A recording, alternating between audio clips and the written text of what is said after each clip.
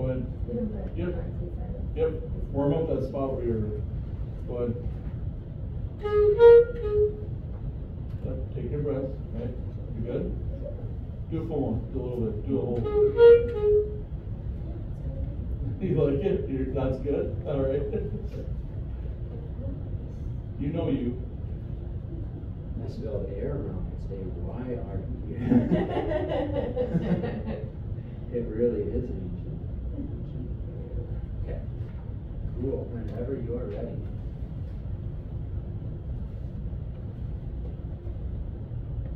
Ancient Ayre by John Barrett.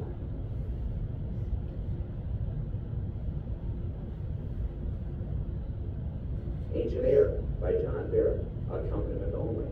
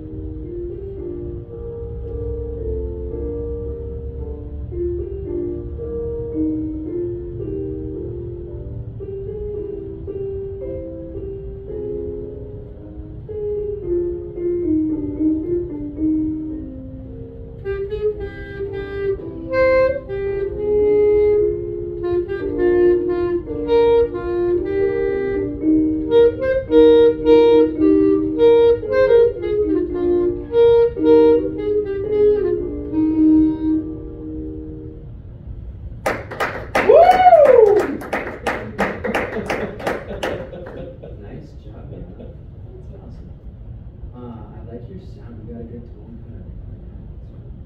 Um, in general, I think your fortes, and it's hard to do on clarinet, but I think your fortes can be a little bit bigger. Okay. Like use your use your solo opera voice and fill the room. Okay. Mhm. Um, so like from 21 all the way to 37, that can be huge. Okay. Big, big sound. So don't be scared to just fill the room. Okay. Mhm. Um, when you're articulating, I try to use the not the very tip of my tongue, but the top of the tip of my tongue. Like, probably can't see it up there.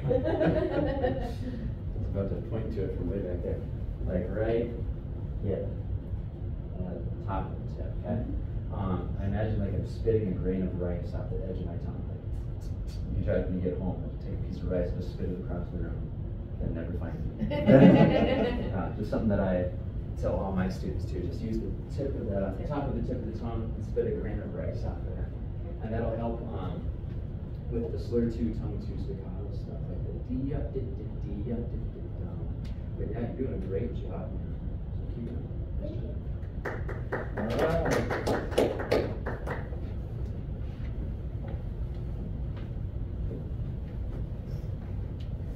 I'm just curious, did you guys get to choose if you're doing solos or not?